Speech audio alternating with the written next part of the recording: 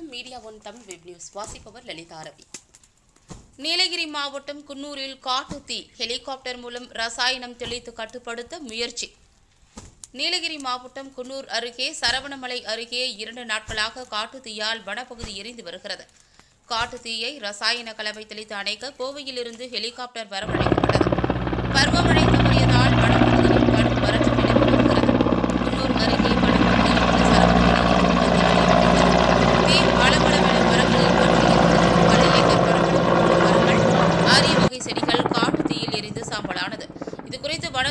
தகவல் தெரியவந்ததும் அவர்கள் சம்பவ இடத்திற்கு விரைந்து வந்தனர்.